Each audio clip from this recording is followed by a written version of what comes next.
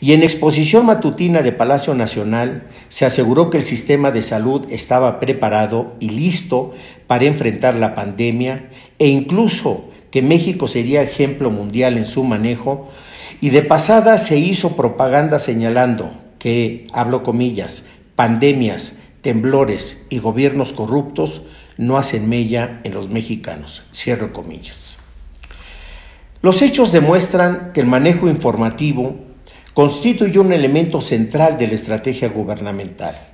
pero no para difundir información a los mexicanos respecto de la naturaleza de la pandemia, su desarrollo y particularmente de las medidas de prevención a adoptar en el mediano y largo plazo del desarrollo del virus en el territorio nacional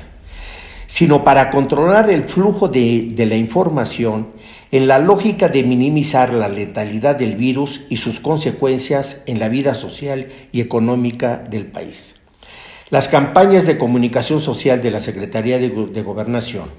que subestimaron la letalidad del virus, son un lamentable ejemplo de la falta de ética política que ha caracterizado al manejo de esta crisis.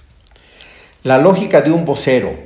que apartara lo suficiente la figura presidencial de un tema tan delicado y que la experiencia mundial ya anunciaba como letal, no solo procuró el cuidado de los márgenes de popularidad del presidente, usted comprenderá que nunca es benéfico el enfrentar de funciones y fracasos de gestión pública, esta estrategia también reforzó el control de la información para la administración de la misma, acorde a las prioridades políticas y económicas gubernamentales. En el colmo de...